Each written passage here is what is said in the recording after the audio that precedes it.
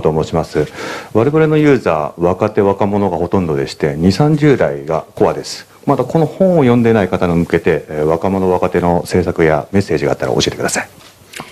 あの先ほどから申し上げますように、若い人にはあのぜひいろんなことにチャレンジしていっていただきたいと思います。世の中ってこんなものだっていうこう下り顔に惑わされずにあのやりたいことがあったら思い切って、えー、手を伸ばして掴み取っていただきたいというふうに思っています。